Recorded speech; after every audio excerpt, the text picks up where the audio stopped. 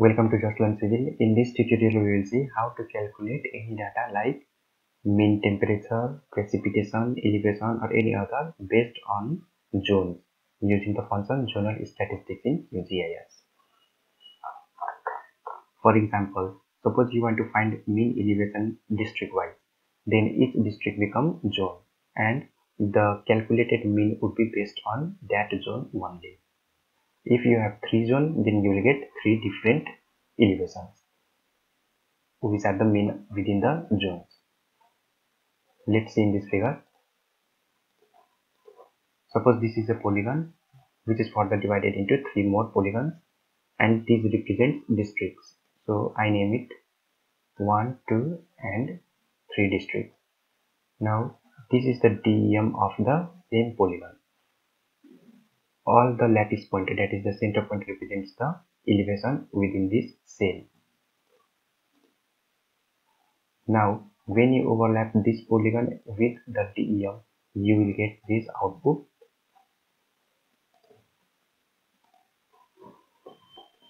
Suppose you, you want to find the you want to find the elevation within zone 1 then after overlapping the polygon polygon is zone and this is data. Now you want to find the data based on this zone. So what QGIS do is in the zonal statistics it will delineate this zone based on the polygon.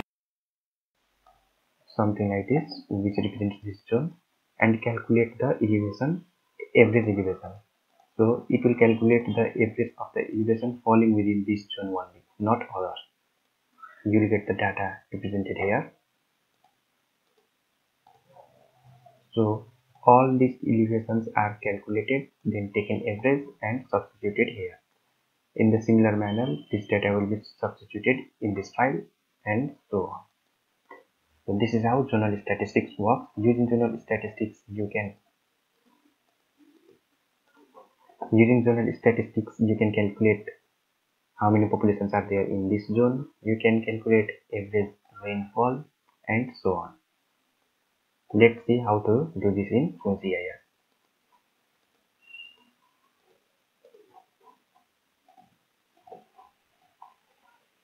You can calculate not only mean but sum, count, maximum, standard deviation, minimum, maximum, etc. So first you need to input polygon and DEM of the same location as shown in the figure earlier. This DEM, this polygon and this DEM were of the same location so that we can overlap. Remember, the coordinates should be same as well, otherwise they won't overlap.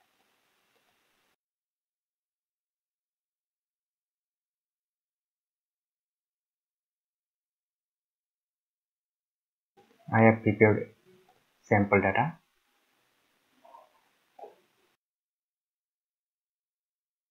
This is the district 1, 2, 3, 4, 5, 6, 7 8 and 10 there are 10 districts now i will import raster containing dem of same location. Since the coordinates are same location is same both overlaps. It should overlap otherwise it cannot calculate zonal statistics. Now go to processing toolbar and search zonal statistics processing toolbar then search for zonal statistics. Double click to open. In the raster layer you select the raster layer. Raster layer represents this DEM which contains our data. Now in the vector layer this district is selected. Vector layer contains zone. DEM contains data we need to calculate data on zone.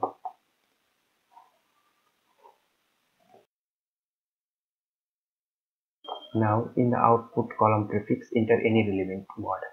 Like you want to calculate this word will be attached to the attribute table. So if you want to calculate the suppose area name is ABC then you will get the data of ABC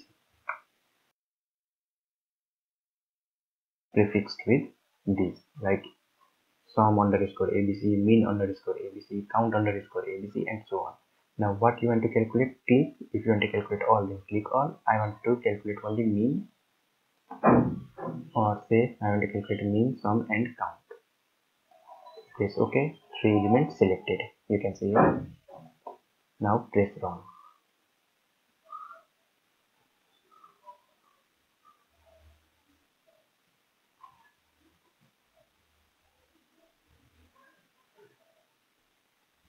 Once your processing is completed, close, the, close this dialog box and check the output.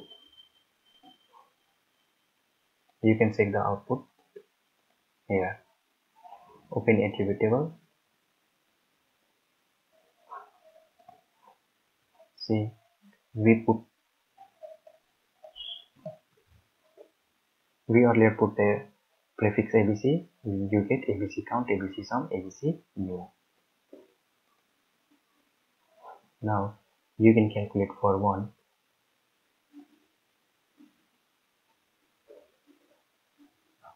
this is the sum this is the count. Now when you divide the sum by count you will get the mean.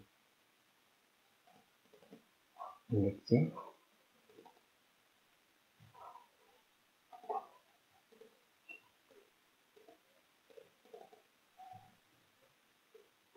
Is divided by 228500 228500 you get 3435 you get the same data. So this is how you can calculate the mean. Now there were 10 districts you get the ages of 10 districts that falls within the zone the zone being the district and the data being the DEM. DEM means digital elevation model but you can have any data like rainfall, population, temperature, anything and you can calculate based on the zone.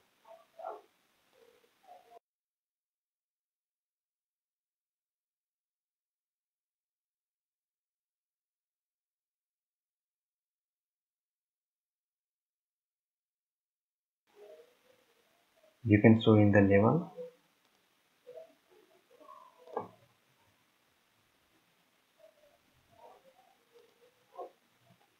Abc mean apply. Okay.